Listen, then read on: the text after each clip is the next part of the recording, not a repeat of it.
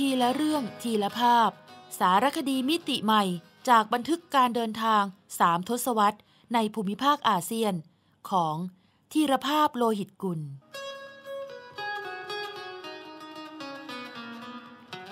อ่านโดย สมปองดวงสวัย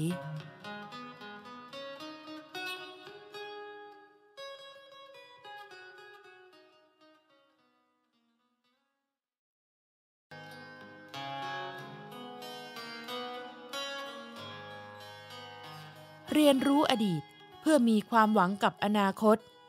ในสารคดีชุด ความยอกย้อนของการเวลา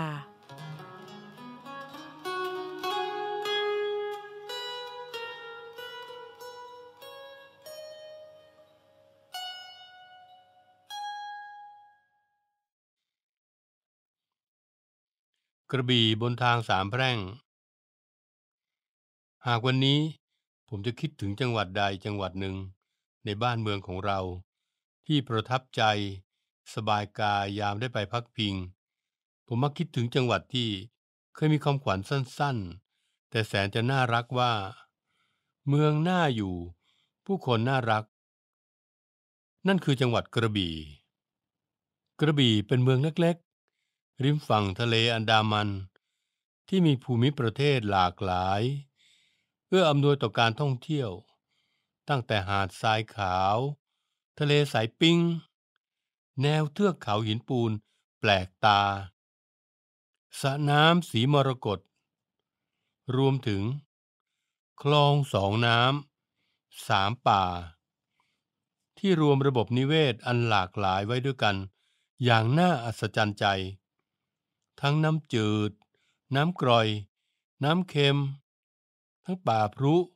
ป่าชายเลน และป่าดิบชื้น เช่นที่คลองท่าปอมอันโด่งดัง กระทั่งอำเภอที่ใครๆ เคยคิดว่า ขี้เรที่สุดของกระบี่ เพราะไม่มีชายหาดชวนฝันเหมือนอำเภออื่น อย่างอ่าวลึก เดี๋ยวนี้ก็ปักธงเป็นอำเภอที่นักท่องเที่ยวไม่ควรพลาดอีกอำเภอหนึ่ง จากความเชื่อว่า ในขาดทุน มีกำไร ในขี้เร มีเสน่ห์แฝงเร้น เพราะเป็นอำเภอชายฝั่งทะเลอันดามัน ส่วนที่เป็นเว้าอ่าวลึก ละไม้ปากนกแก้ว จึงถูกเรียกขานามมาว่า อ่าวลึกสำร้ายยังเป็นชายฝั่งประเภทจมตัว มีหาดทรายอยู่น้อยนิด ส่วนที่มีก็เป็นเพียงชายหาดแคบๆ ไม่น่าพิสมัย ลึกลงไปในทะเล ยังเป็นไหลทวีปลาดชัน ไม่เหมาะกับการเล่นน้ำด้วยประการทั้งปวง อ่าวลึกจึงไม่เคยมีตัวตนบนแผนที่ท่องเที่ยว ยอดนิยมของกระบี่ แม้จะมีถ้ำผีหัวโตที่ทรงคุณค่าด้วยภาพเขียนสียุคก่อนประวัติศาสตร์ มีแอ่งน้ำสีมรกตอย่างทานโบกขรณี ก็มีเสียงปรามาสว่า เป็นแค่แหล่งท่องเที่ยวระดับท้องถิ่นอ่าวลึกในอดีต จึงดูเร้นลับ ผู้คนพากันผ่านเลยไปที่อื่น แต่เมื่อเป็นชายฝั่งจมตัว ภูเขาหินปูนมากมาย ตรงชายฝั่ง จึงพากันสุดตัวตามลงไปในทะเลด้วย ก่อให้เกิดเกาะหินปูนขึ้นมากมายตลอดแนว อ่าวพังงายันอ่าวลึก ยิ่งนานวัน มีสายฝนกระนำมีลมพายุกัดเซาะหินปูนที่อ่อนเปราะ บ้างก็เว้าแหวง บ้างเป็นรูโว เป็นโพรงถ้ำเป็นเพิงผาไม่น่าดูเลย ในสายตาชาวมุสลิมกลุ่มแรก ๆ ที่อพยพย้ายถิ่นมาทำกินแถบนี้ จึงพากันขนานนามด้วย ภาษายาวีอย่างเจียมตนว่า กาโรส แปลว่าไม่สวย หรือแล่งตรงๆ ตามภาษาถิ่นใต้ได้ความว่า อยู่โบะไม่ใช่โบละ แต่มันโบะแปลง่าย ๆว่า ช่างขี้ริ้วขี้เรสิ้นดี ความยอกย้อนของธรรมชาติเช่นนี้ก่อให้เกิดปริศนาธรรมเล่าตำนาน ขุมทรัพย์แห่งกาโรส ที่ว่า เขายาวน้ำรอบ มีขอบน้ำวน ขุมทรัพย์อยู่บน ขนให้ลูกหลาน ที่วันนี้ก็ยังไม่มีใครรู้ว่า ขุมทรัพย์อยู่ไหน นอกจากคาดเดา และผูกโยงเข้ากับภาพเขียนสีที่เพิงผา มีรูปหนึ่ง คล้ายคนเฝ้าหีบมหาสมบัติ เลยพานเชื่อว่า ขุมทรัพย์มีจริง แต่ยังหาไม่เจอ ยกเว้นแต่การทำมาหากินที่ไม่อยู่โบะเพราะความเป็นอ่าวลึก จึงไม่เพียงแต่เรือสินค้าและสารพัดเรือ ที่ชอบมาจอดหลบลมพายุร้ายรุนแรงในฤดูมรสุม แต่ยังเป็นบ้านที่อบอุ่น เป็นสวรรค์อันบันเจิดของกุ้งหอยปูปลา และชาวประมงเป็นเวลายาวนาน ที่ชาวกาโลสณอ่าวลึกก้มหน้าก้มตาทำประมง และสวนยางอย่างเจียมตน เนิ่นนานจนไม่มีคำว่า การท่องเที่ยวอยู่ในพจนานุกรมของพวกเขา จนอยู่มาวันหนึ่ง มีอัศวินขี่ม้าขาว มาบอกชาวกาโลส ณอ่าวลึกว่า ความเว้าแหว่งตะปุ่มตะปำที่แลดูขี้ริ้วขี้เรนั่น แท้ที่จริงมีเสน่ห์แฝงเร้น ชวนให้ค้นหา เพราะบ้างเป็นหน้าผามีรูโพรง แลละม้ายใบหน้าปีศาจถมึงทึงยามเช้า แล้วกลับกลายเป็นแคสเปอร์ ผีขี้เล่นเมื่อแดดบ่าย ชายมา บรรดาคนต่างถิ่นผู้มาเยือน อุทานให้ได้ยินว่า นั่นหุบเขาปีศาจโน่นก้อนหินแม่มด นี่หน้าผาผีตาโขน เพราะเหลือบมองคราใด ดังมีมือศิลปิน จากด่านซ้ายที่เมืองเลย มารังสรรค์เป็นประติมากรรมชิ้นเอกอุ ที่สำคัญ หากปีนป่ายขึ้นไปบนเพิงผา มุดหน้าเข้าไปในเวิงถ้ำแล้วหันกลับมามองทะเล ผ่านรอยเว้าแหว่งของโพรงผาและหินย้อย ก็จะได้มุมมองกระบี่ใหม่ จากสายตามนุษย์ถ้ำยิ่งถ้าไปมองในเวลาที่เหมาะสมอย่าง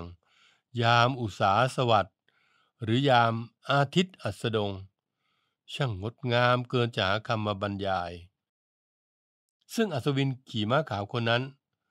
หาใช่ใครอื่น หากคือลูกหลานอ่าวลึกที่มีวิสัยทัศน์ไกล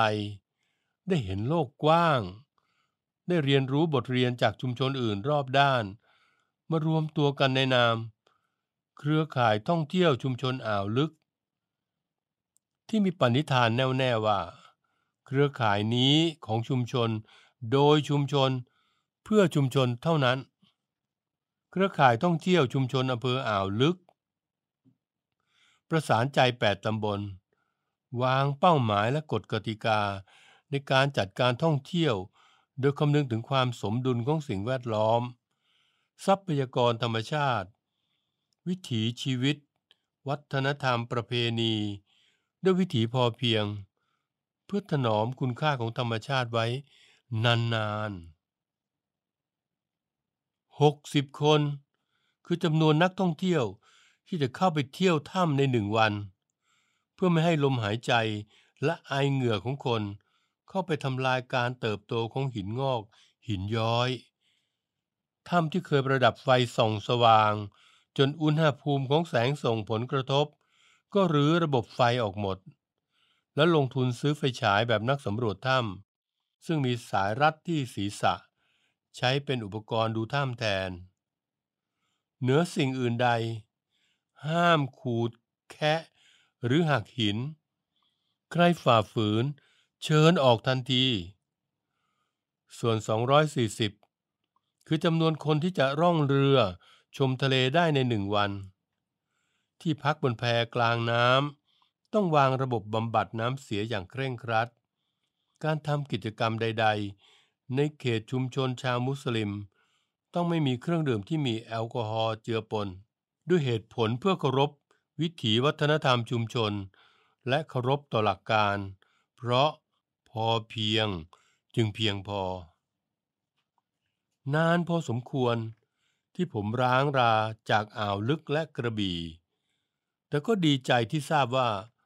บัดนี้ เครือข่ายท่องเที่ยวชุมชนอ่าวลึก เข้มแข็งขึ้นในนาม วิสาหกิจเครือข่ายท่องเที่ยว โดยชุมชนอ่าวลึก แต่ผมไม่แน่ใจว่า อนาคตของกระบี่และอ่าวลึกจะเป็นเช่นใด ในกรณีที่มีโรงไฟฟ้าถ่านหินเกิดขึ้น ผมเข้าใจเพียงว่า แหล่งพลังงานยังมีทางเลือกอื่น และการพัฒนาเมือง ไม่ควรจะไปในทิศทางเดียวกันหมด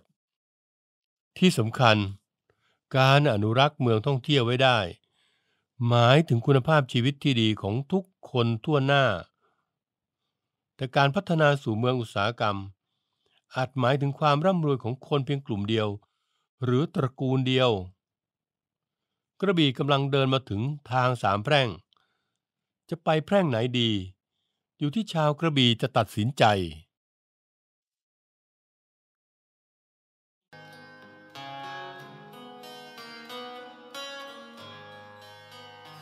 เรียนรู้อดีตเพื่อมีความหวังกับอนาคต ในสารคดีชุด ความยอกย้อนของการเวลา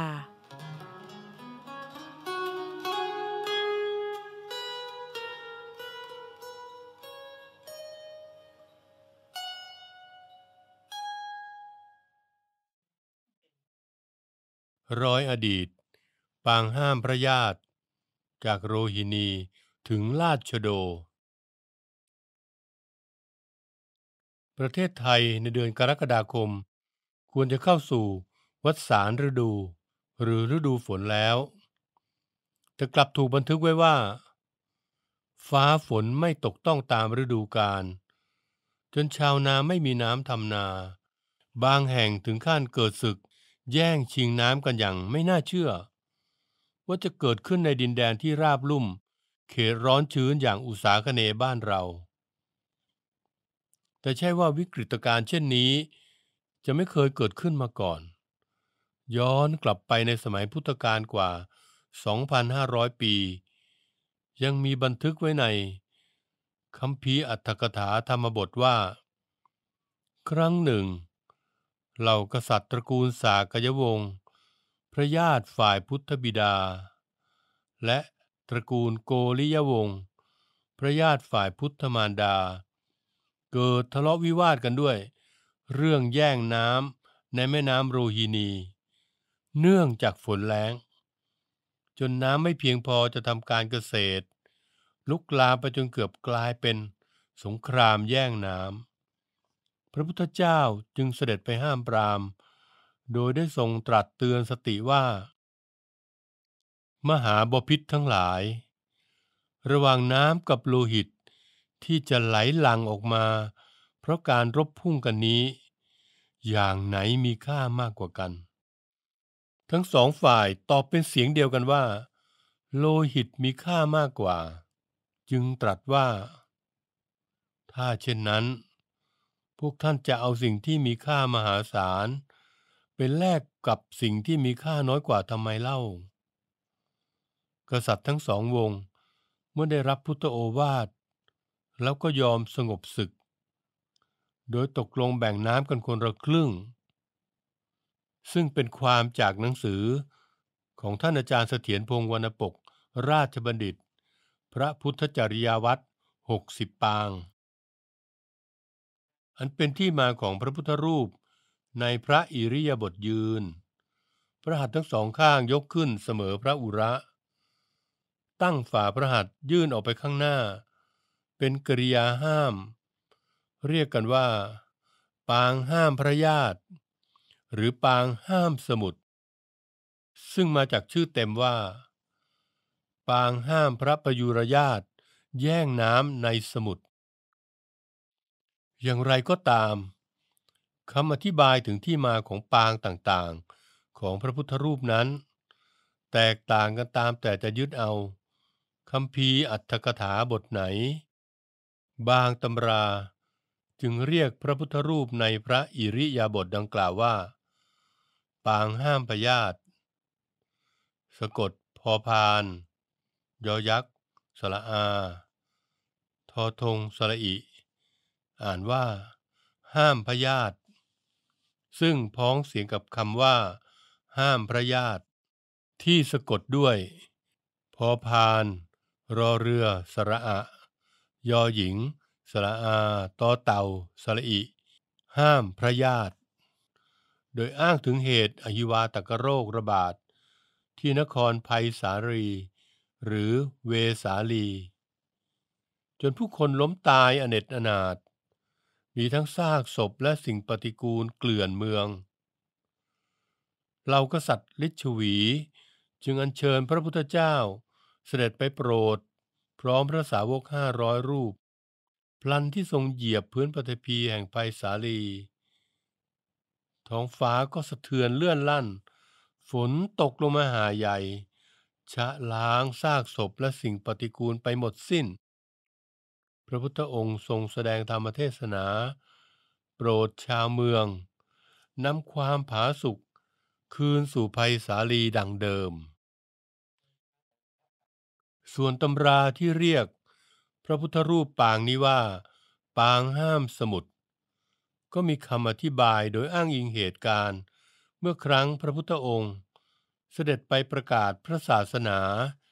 ยังตำบลอุรุเวลาเสนานิคม ในแคว้นมคตของพระเจ้าพิมพิสาร โดยทรงขอประทับแรมที่สำนักของ อุรุเวละกัสสปะ หัวหน้าชดิน หรือฤาษีผู้บูชาไฟ ซึ่งเป็นที่เลื่อมใสของชาวมคต จึงทรงแสดงอิทธิปาฏิหาริย์ให้เหล่าชดิน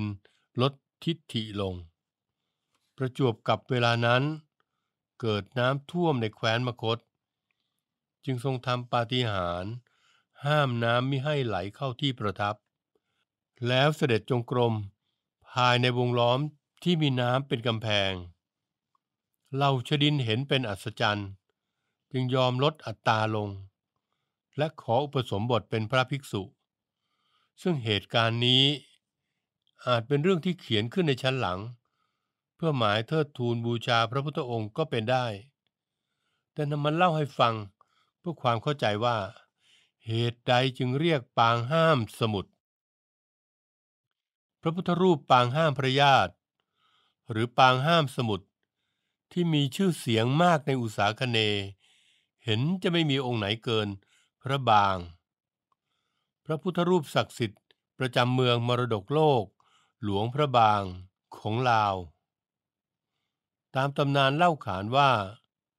ในปีพุทธศักราช 1896 เมื่อครั้งหลวงพระบาง เป็นศูนย์กลางของอาณาจักรล้านช้าง และยังมีชื่อเดิมว่าเชียงทอง เจ้าชายฟางงุ้ม ได้ปราบดาพิเศษขึ้นเป็นเจ้ามหาชีวิต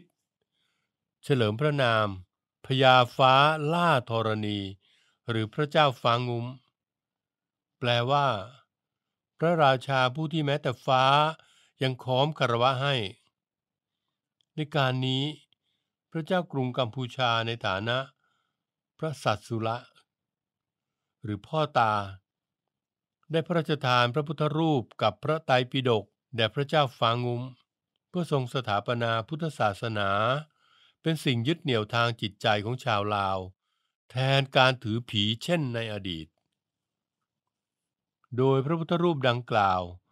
เป็นพระปางห้ามพระญาติสูงสองศอกเจ็ดนิ้ว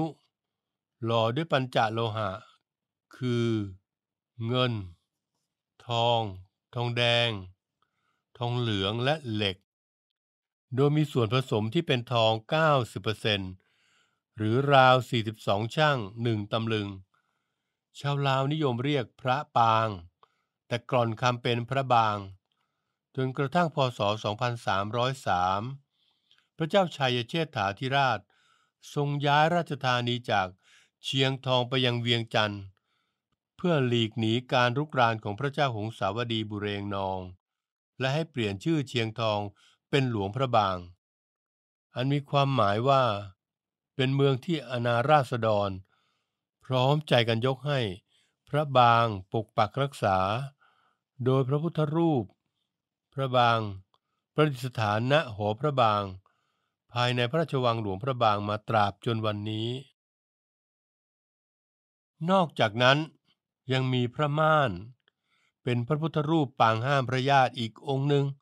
ที่ชาวหลวงพระบางสักการะบูชา ด้วยเชื่อกันว่า หากอัญเชิญพระม่านออกจากหอพระ วันนั้นฝนจะตก พระม่านจึงเป็นสัญลักษณ์หนึ่งของความบริบูรณ์พูนผล ย้อนกลับมาในประเทศไทย ปรากฏการณ์ฝนแล้ง ยังส่งผลกระทบให้ชุมชน ริมฝั่งคลองลาดจโด อำเภอผักไห่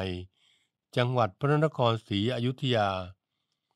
ตัดสินใจยกเลิก การจัดประเพณี แห่เทียนเข้าพรรษาทางน้ำที่สืบทอดกันมานาน ด้วยเหตุที่น้ำในคลองแห้งผาก จนยากแก่การเดินเรือ บรรดาพ่อเพลงแม่เพลงพื้นบ้าน และเด็กนักเรียน โรงเรียนวัดลาชโด บนเสียดายไปตามๆกัน เพราะต่างซ้อมเพลงเรือและการละเล่นทางน้ำสำหรับนำขบวนแห่เทียนพรรษาไว้ติบดี ผมชมสกู๊ปข่าว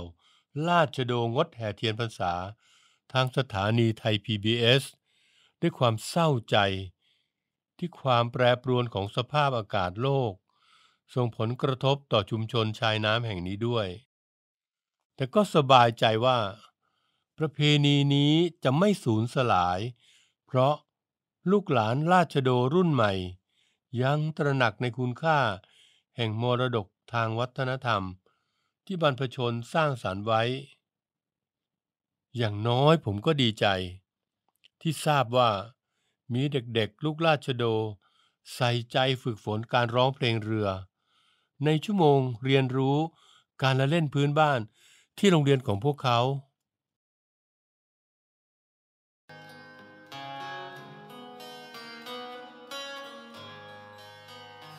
เรียนรู้อดีตเพื่อมีความหวังกับอนาคต ในสารคดีชุด ความยอกย้อนของการเวลา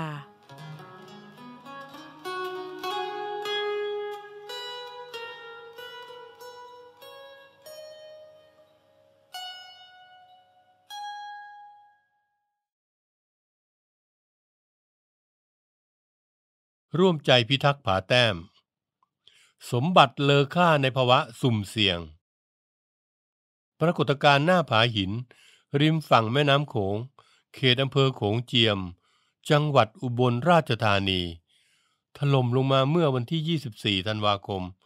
พศ 2558 ทรงแรงกระเพื่อมในแวดวงโบราณคดีไทยมิใช่น้อย เพราะเป็นที่ทราบกันดีว่า บริเวณนั้นมีภาพเขียนสียุคก่อนประวัติศาสตร์ อันทรงคุณค่ากว่า 300 ภาพ อายุเก่าแก่ราว 3,000 ถึง 4,000 ปี ที่รู้จักกันในนามผาแต้มประดับอยู่ โชคยังดี ที่จุดเกิดเหตุคือบริเวณผากระทัง ทางทิศเหนือของบ้านห้วยลงตำบลห้วยไผ่อำเภอโขงเจียม อยู่ห่างจากผาแต้มถึง 6 กิโลเมตร โดยนักธรณีวิทยาวิเคราะห์ว่า สาเหตุเกิดจากชั้นหิน บริเวณนั้นมีความแตกต่างกัน โดยมีหินทรายที่หนาและหนักอยู่ด้านบน และมีชั้นหินดินดาน ซึ่งแข็งแรงน้อยกว่า แตกและร่อนง่ายกว่า รองรับอยู่เบื้องล่าง ครั้นเมื่อชั้นหินดินดานผุกร่อนทำให้การรับน้ำหนัก เสียสมดุล จึงเกิดการพังทลายของชั้นหินทราย เป็นวงกว้างถึง 40 เมตร ยาว 50 เมตร และลึกเข้าไป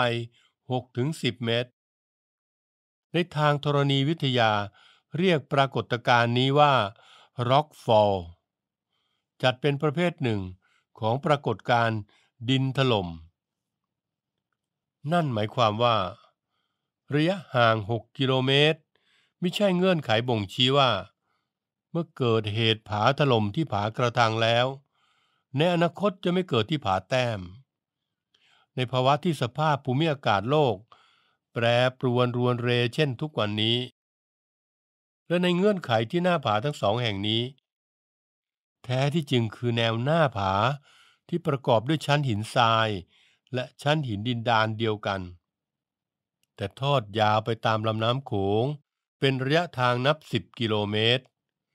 ซึ่งปรากฏการณ์หน้าผาหินถล่มอาจเกิดขึ้นซ้ำอีกเมื่อไหร่ก็ได้ การที่หัวหน้าอุทยานแห่งชาติผาแต้ม สั่งการให้นำป้ายระวังหินถล่มไปติดไว้ในบริเวณจุดเสี่ยง พร้อมกับเชิญชวนให้นักท่องเที่ยวไปพิสูจน์ว่า ผาแต้มยังไม่ได้ถล่มลงมานั้น ไม่น่าเพียงพอจะเป็นหลักประกันว่า หากเกิดผาถล่มขึ้นมาจริง ๆ แล้ว จะรักษาความปลอดภัยกันได้อย่างไร หากแม้นว่าการปิดอุทยาน จะนำความเดือดร้อนมาสู่ชาวบ้านจำนวนไม่น้อย ที่ฝากชีวิตไว้กับธุรกิจการท่องเที่ยว ก็คงเป็นความจำเป็นเร่งด่วน ที่ทางอุทยานต้องระดมเจ้าหน้าที่ออกสอดส่องดูแล และทำความเข้าใจ ให้ความรู้กับชาวบ้านและนักท่องเที่ยว รวมถึงอาจปิดพื้นที่บางส่วน เปิดให้ชม เฉพาะภาพหลักเท่านั้น แต่ที่สำคัญคือ การประสานความร่วมมือทุกหน่วยงานที่เกี่ยวข้อง เพื่อระดมสมองทั้งความเป็นไปได้ หรือเป็นไปไม่ได้ ที่จะปกป้องภาพเขียนสียุคก่อนประวัติศาสตร์ อันทรงคุณค่าชุดนี้ให้รอดพ้นหายนะภัย ผาหินถล่ม แน่นอน ปรากฏการธรรมชาติเป็นเรื่องที่ยากจะป้องกันและคาดเดา แต่หากเราศึกษาบทเรียนจากญี่ปุ่น ในการคิดค้นนวัตกรรมใหม่ ๆ มาชะลอ หรือบรรเทาความรุนแรงของสึนามิ ก็เป็นไปได้ว่าอาจมีนวัตกรรม หรือแนวทางป้องกันภาพเขียนสีไว้ได้ แม้ไม่หมดทั้ง 300 กว่าภาพ แต่อย่างน้อยภาพสำคัญระดับหัวแหวนของผาแต้ม ยังปกปักรักษาไว้ได้ก็ยังดี และหากแม้ถึงที่สุด เราไม่อาจรักษาภาพเขียนสีไว้ได้ ก็ยังภูมิใจที่ได้ เพียรพยายามอย่างเต็มกำลังแล้ว ไม่ใช่ปล่อยให้ทุกอย่าง เป็นไปตามยถากรรม อย่างไรก็ตาม แล้วงานนี้ใครจะเป็นเจ้าภาพ คงต้องให้กรมศิลปากรในฐานะผู้ดูแลภาพเขียนสี ซึ่งขึ้นทะเบียนเป็นโบราณสถานของชาติ กับกรมอุทยานแห่งชาติสัตว์ป่าและพันธุ์พืช ในฐานะผู้ดูแลอุทยานแห่งชาติผาแต้ม ปรึกษาหารือกันอย่างเร่งด่วน เพื่อภารกิจพิทักษ์ภาพเขียนสี และมีมาตรการป้องกัน จากการระดมสมองของทุกฝ่ายก่อนจะสายเกินแก้ แล้วต้องมาเจอกัน ในวันที่งานศิลปะ ยุคก่อนประวัติศาสตร์ล้ำเลอค่าถล่มลงมากองโดยต่างฝ่ายได้แต่มองตากันเท่านั้น ทั้งนี้ ภาพเขียนสียุคก่อนประวัติศาสตร์ ที่ประดับอยู่ตามแนวหน้าผา ริมฝั่งแม่น้ำโขง ในเขตอุทยานแห่งชาติ ผาแต้มอำเภอโขงเจียม จังหวัดอุบลราชธานี มีจำนวนกว่า 300 ภาพ ตลอดระยะทางยาวกว่า 900 เมตร แบ่งเป็น 4 กลุ่ม คือกลุ่มผาขาม กลุ่มผาแต้ม กลุ่มผาหมอน และกลุ่มผาหมอนน้อย เป็นผลงานของชุมชนโบราณที่พักพิงตามเพิงถ้ำในหน้าผาริมฝั่งโขงเมื่อ 3,000 ปีถึง 4,000 ปีก่อน ภาพเขียนสีที่ปรากฏ อาทิภาพช้าง ปลาบึก คนทำนา ภาพฝ่ามือ เครื่องมือประมง ภาพลายน้ำไหล และอื่นๆ สะท้อนวิถีชีวิตและคติความเชื่อของผู้คนในสมัยนั้นโดยสีที่ใช้เขียนภาพ นักวิทยาศาสตร์พบว่าเป็นสีโทนแดง จากแร่ชนิดหนึ่ง ที่เรียกว่าเฮมาไทต์หรือหินเทศ ซึ่งเป็นหินทรายชนิดหนึ่ง เรียกอีกอย่างว่าหินทรายแดง พบได้ทั่วไปในที่ราบสูงอีสาน นับเป็นความชาญฉลาดของผู้คนในสมัยนั้น ที่ค้นพบสีตามธรรมชาตินำมาวาดภาพแล้ว สียังคงทนตราบจนวันนี้ เป็นเวลากว่าสามสหัสวรรษแล้ว แต่เนื่องจากคำว่าวาด ในภาษาอีสานพูดว่าแต้ม เพิงผาแห่งนี้ จึงถูกเรียกขานในยุคต่อมาว่า ผาแต้ม ซึ่งในอดีตชาวบ้านเชื่อว่า เป็นพื้นที่ศักดิ์สิทธิ์ เป็นเขตต้องห้าม เป็นแหล่งอาศัยของผู้ผีปีศาจเรียกว่าภูผาแห่งความตาย ก่อนที่จะมีอาจารย์ภาควิชามานุษยวิทยา คณะโบราณคดี มหาวิทยาลัยศิลปากรนำโดยอาจารย์ศรีศักดิ์วันลิ ดม และอาจารย์พรชัยสุจิต มาค้นพบภาพเขียนสียุคก่อนประวัติศาสตร์ อันนับเป็นภาพเขียนสีกลุ่มใหญ่ที่สุด และเก่าแก่ที่สุดกลุ่มหนึ่ง ในไทยและในโลก เมื่อวันที่ 15 พฤษภาคม ปี พศ 2524ทำให้มีผู้สนใจเดินทางไปชมมากขึ้นเรื่อยๆ ทางการจึงขึ้นทะเบียนผาแต้มเป็นโบราณสถาน ในปีพศ 2525 และจัดตั้งพื้นที่โดยรอบ เป็นอุทยานแห่งชาติผาแต้ม ในปีพศ 2534 หวังเป็นอย่างยิ่งว่า ผาแต้มจะไม่ถึงการอวสานด้วยธรณีพิบัติภัย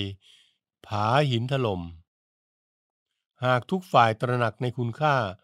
และระดมสรรพกำลัง ปกปักรักษา สมบัติมนุษยชาติล้ำเลอค่าแห่งนี้ไว้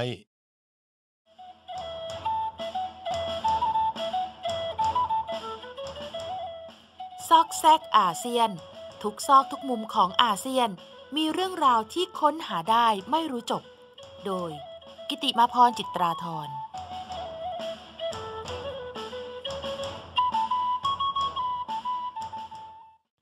เบิ่งบรมพุทโธ ณ เมืองเกินร้อย เดินทางจากตัวเมืองร้อยเอ็ด มุ่งหน้าสู่อำเภอศรีสมเด็จไม่ถึงหนึ่งชั่วโมง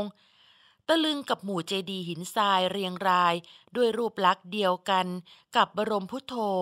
หรือบุโรพุทโธ พุทธสถานฝ่ายมหายาน ขนาดใหญ่ที่สุดในโลก แหล่งมรดกโลก ล้ำเลอค่า บนเกาะชวาของอินโดนีเซีย นี่คืออนุสรสถานที่บรรดาสิทธิานุสิทธิ์ร่วมกันก่อสร้างขึ้นด้วยแรงศรัทธา ในวาระครบรอบ 90 ปี พระเทพวิสุทธิมงคล หลวงปู่ศรีมหาวีโร พระเกจิอาจารย์รูปสำคัญแห่งแดนอีสาน สร้างด้วยงบประมาณกว่า 40 ล้านบาท ณ วัดประชาคมวนาราม หรือวัดป่ากุงค่ะ ทั้งนี้เพราะในปีพุทธศักราช 2531 หลวงปู่ศรีไปปฏิบัติศาสนากิจ และจำพรรษาที่อินโดนีเซีย แล้วได้ไปชมบรมพุทโธด้วยความประทับใจ จึงกลับมาเล่าให้ลูกศิษย์ฟัง และดำริว่าจะจัดสร้างไว้ในประเทศไทย โดยถึงกับส่งพระและสถาปนิก ไปดูงานที่บรมพุทโธ ก่อนลงมือก่อสร้างในปีพุทธศักราช 2547 และเสร็จในปีพุทธศักราช 2549 ค่ะ บรมพุทโธหรือบูโรพุทโธ เก่าแก่กว่า 1,200 ปี สร้างโดยกษัตริย์ราชวงศ์ไสเลน แห่งอาณาจักรศรีวิชัย ในยุคที่ศาสนาพุทธแบบมหายาน และศาสนาพราหมณ์ฮินดู เฟื่องฟูบนเกาะชวา มีลักษณะเป็นทรงพีระมิด มีฐานสี่เหลี่ยมจัตุรัส กว้างด้านละ 121 เมตร สูง 50 เมตร แบ่งเป็นสามชั้น คือชั้นฐาน หรือชั้นกามธาตุเปรียบเหมือนโลกมนุษย์ที่ยังมีกิเลส ยึดติดในรูป รส กลิ่น เสียง สัมผัส วนเวียนอยู่ในความโลภ โกรธ หลง ชั้นที่สองเป็นชั้นรูปธาตุหลุดพ้นจากความโลภโกรธ หลง แต่ยังคล้องแวะในรูปรสกลิ่น เสียงสัมผัส ชั้นที่สามเป็นชั้นอรูปธาตุหลุดพ้นจากกิเลสเมามัวทั้งมวล เปรียบได้ดั่งแดนนิพพาน ที่น่าสนใจคือ บรมพุทโธมีบันไดทางขึ้น 171 ขั้น มีพระพุทธรูปในซุ้มเหนือฐานชั้นที่หนึ่ง432 องค์ มีพระพุทธรูปปางปฐมเทศนา ประดิษฐานในเจดีราย เจาะเป็นรูโปร่ง 72 องค์ รวมจำนวนพระพุทธรูปทั้งสิ้น 504 องค์ ซึ่ง 5 บวก 0 บวก 4 เท่ากับ 9 อันเป็นเลขมงคลค่ะ ขณะที่บรมพุทโธณวัดป่ากุง เป็นเจดีย์รูปทรงแปดเหลี่ยม กว้างร้อยเอ็ดเมตร ยาวร้อยเอ็ดเมตร ตามชื่อจังหวัดร้อยเอ็ดและสูงร้อยเก้าเมตร แบ่งเป็นเจ็ดชั้น ตกแต่งด้วยหินทรายธรรมชาติ จากอำเภอปากช่อง จังหวัดนครราชสีมา การสร้างรูปจำลองของสถานที่สำคัญระดับโลกในประเทศเพื่อนบ้าน ถือเป็นกระบวนการแลกเปลี่ยนเรียนรู้ ขั้นตอนหนึ่งของชาวประชาคมอาเซียนค่ะ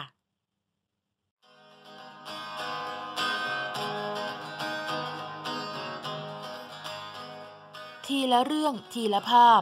สารคดีมิติใหม่จากบันทึกการเดินทางสามทศวรรษ ในภูมิภาคอาเซียน ของธีรภาพโลหิตกุล สร้างสารรค์ดนตรีโดย นิพนธ์เรียบเรียง และบุญชัย ชุนหรักโชต